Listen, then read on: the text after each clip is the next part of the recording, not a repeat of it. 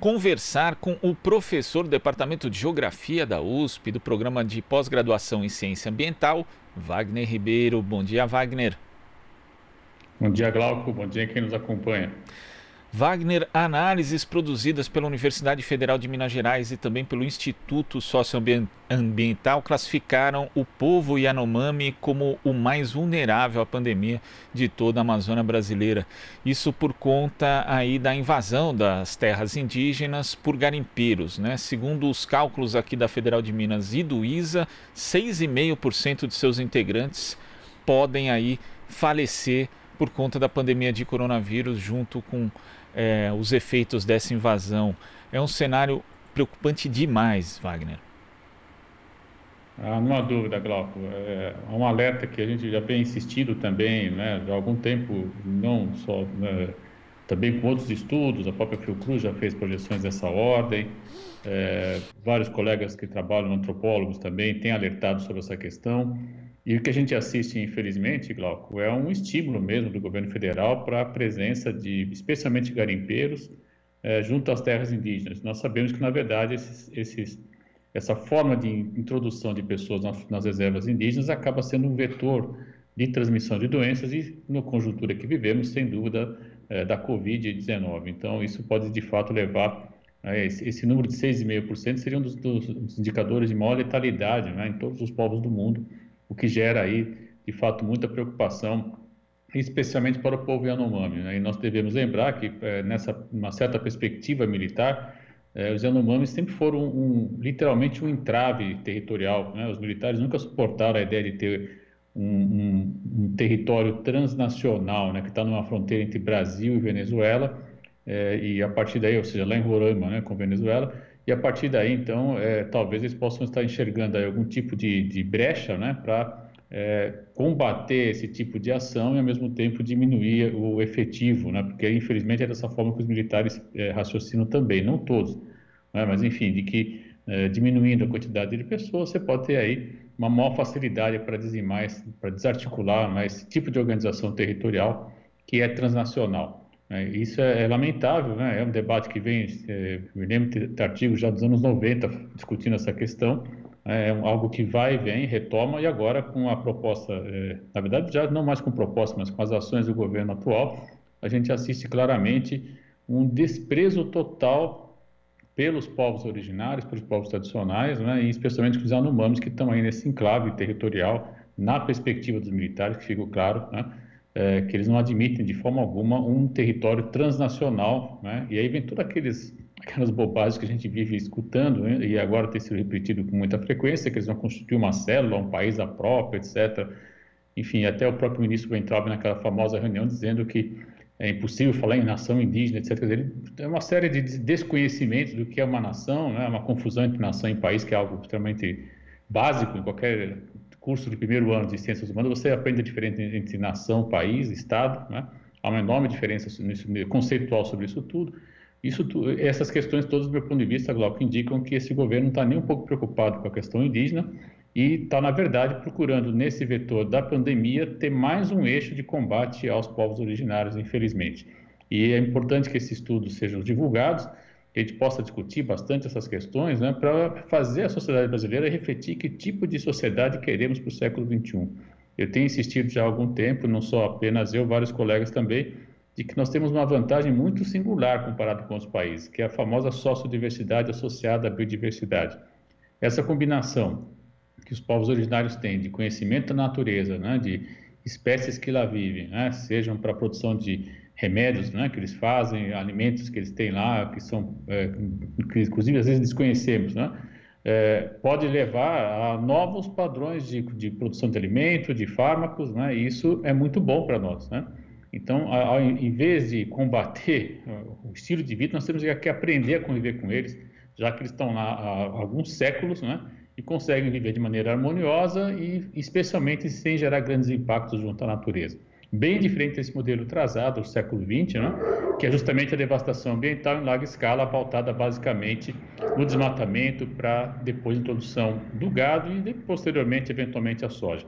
É, mas no caso, a, a, o garimpo está sendo um eixo de penetração, um vetor de penetração para a destruição dos povos, infelizmente. E essas atividades de mineração, Wagner, em terras indígenas, elas não só causam a devastação, trazem ameaças, né, como a da Covid-19 às comunidades originárias, mas como também tem outro tipo de ameaça de risco à saúde. Uma pesquisa feita pelo Instituto Oswaldo Cruz, por exemplo, revelou que a saúde dos Yanomamis está em risco por conta dessas atividades de mineração, já que 91% da população estaria com níveis de contaminação de mercúrio acima do nível estabelecido pela Organização Mundial da Saúde. Quer dizer, Wagner, trata-se, na verdade, de um crime continuado. Ah, eu concordo com a sua interpretação, Glauco. De fato, nós temos aí, né, eu insisto, né, para os militares, a questão do nome é quase que uma questão, na perspectiva deles, de Estado, o que não é verdade, já que a Constituição brasileira preconiza né, a possibilidade, está claro, né, na Constituição é possível, sim, resguardar para, aos povos originários, incluindo os quilombolas, né, o direito à terra. Então não tem nada de errado nisso, ao contrário, nós temos é que dar condições, né? Mas quando a gente vê o esvaziamento da FUNAI, a gente vê o esvaziamento dos órgãos de saúde vinculados à FUNAI, a gente vê a vista grossa é, a presença do mercúrio por meio dos, dos, dos é, garimpeiros. E agora, mais associado ao Covid, a gente percebe claramente né, um, um delineamento, você tem razão, um processo histórico que vem ao longo dos anos procurando né, é, eliminar as formas de organização alternas ao nosso estilo de vida. Muito diferente do que a gente assiste, por exemplo. Agora vamos citar alguns países, acho que é importante, né? Que a Austrália, por exemplo, é, como a Austrália trata os povos originários, especialmente como a Nova Zelândia trata os povos originários, como o próprio Canadá trata os povos originários, são países que conseguiram, Glauco, fazer uma, eu costumo dizer, uma redenção, né? reconhecer os erros do passado e, de algum modo, do meu ponto de vista, o melhor modelo é o da Nova Zelândia, é, incorporou esse estilo de vida, né, essa diversidade cultural dos povos originários na forma de organização territorial, reconhecendo direitos, reconhecendo cultura, reconhecendo a língua né, e permitindo que eles possam manter seu estilo de vida é, em consonância, em conjugação com esse estilo ocidental que está posto, é, é, infelizmente, em larga escala no mundo e está gerando os problemas que nós temos aí de desigualdade social, de pandemia, enfim. Mas a Nova Zelândia me parece um exemplo importante. O Canadá também teve uma experiência importante com os inuits, popularmente chamado esquimós, né? e conseguiram também reconhecer os territórios desses povos. Eles têm lá total autonomia, inclusive é, com educação é, própria também. É, isso tudo leva então a uma convergência de visões que acabam, na verdade, somando e fazendo com que a gente possa ter um estilo de vida melhor, mais organizado e menos impactante em relação aos processos naturais de larga escala, que não é, infelizmente, o que o modelo capitalista preconiza. Ele vai exatamente na direção oposta. E são tantos ataques, né, Wagner? Porque a gente tem um presidente que já se elegeu dizendo que não ia fazer demarcação de um centímetro de terra indígena, que incentiva e estimula a invasão por parte de garimpeiros, também de madeireiros. Nós temos aí o desmonte da Secretaria Especial de Saúde Indígena, a CESAI, que vem aí desde o, na verdade, desde o governo Temer, né, o enfraquecimento da CESAI. Quer dizer, uma conjuntura de fatores que, assim, é muito preocupante e é, é necessário também, a gente sabe que tem aqui a atuação de parlamentares, de personalidades políticas, de integrantes mesmo do Ministério Público Federal em prol dos indígenas, mas é necessário amplificar isso que é praticamente um pedido de socorro para o mundo, né? Sem esse apelo internacional fica muito difícil também para a gente é, travar esse combate, Wagner.